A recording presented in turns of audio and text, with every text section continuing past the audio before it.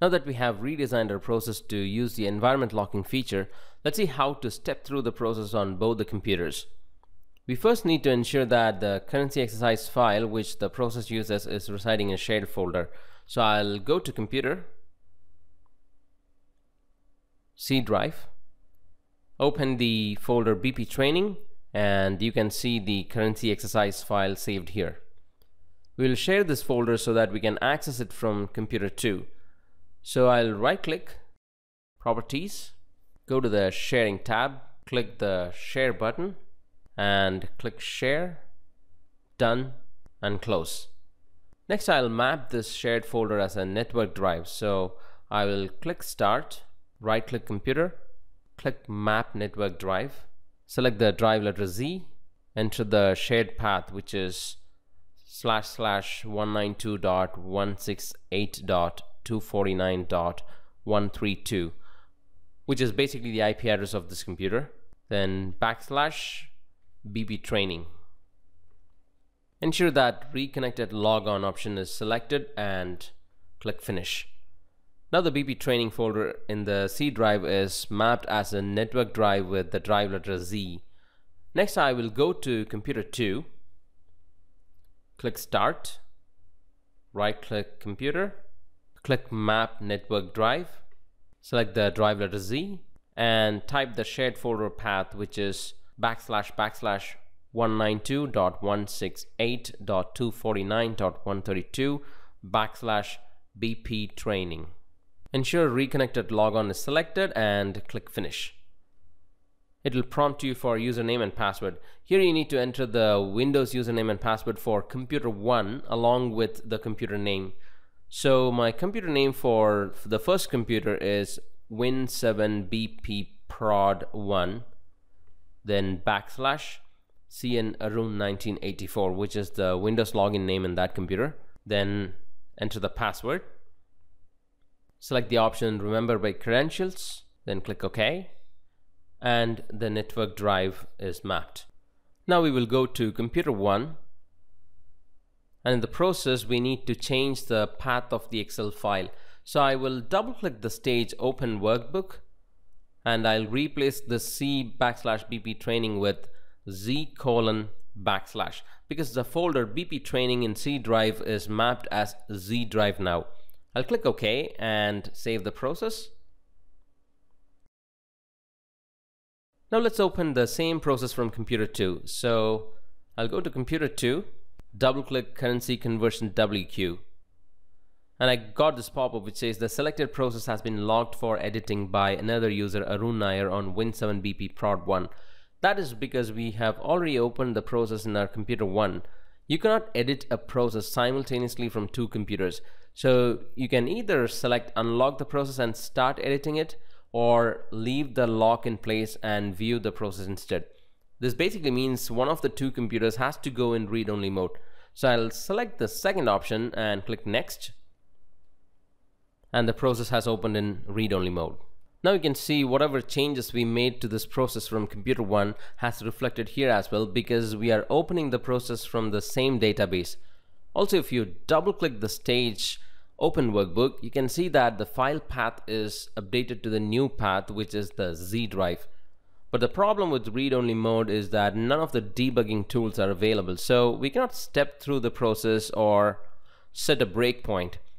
This will not help us to see what's going on step by step. So as a workaround, we will close this, go to computer one, and we'll clone this process and save it with a different name. We do that by clicking File, Save As, and I'll name it as Currency Conversion WQ 2. Click Next, enter the description, and click Finish. Now you can see currency conversion WQ2 is opened here. I will close this, open the original process which is currency conversion WQ. Then I'll go to computer 2 and if I click refresh, the new process should appear here but if it doesn't appear simply switch to some other tab and come back to studio and you should see it. So I'll double click currency conversion WQ2 And now we have two separate processes configured to do exactly the same steps and work with exactly the same file, queue, and environment lock. So let's step through the process on both the computers and see what happens. Before that, I'll go ahead and clear the currency queue.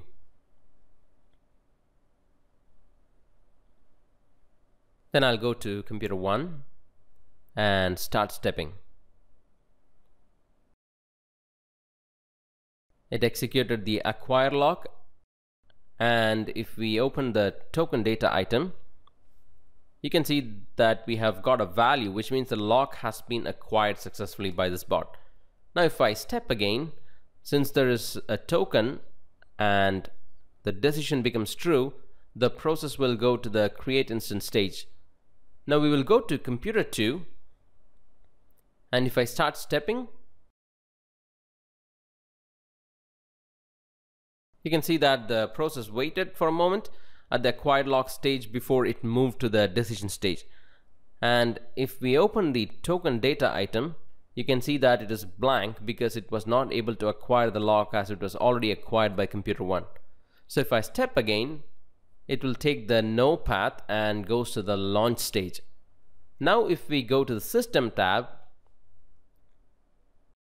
and click environment locks, you can see that an environment lock named Excel lock is created and the status shows the locked symbol.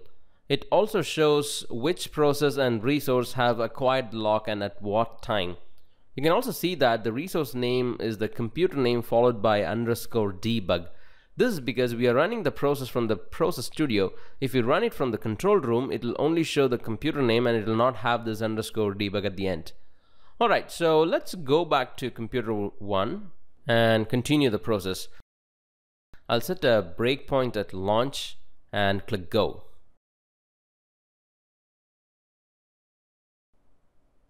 Alright, the breakpoint reached.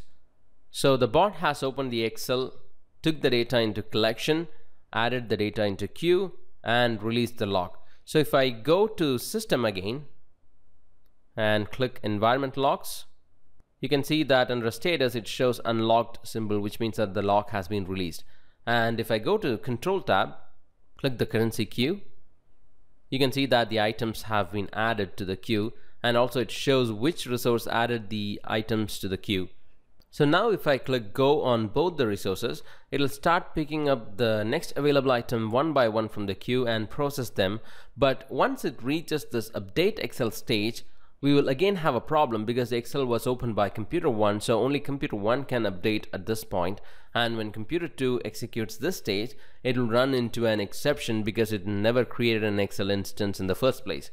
So how do we resolve this situation?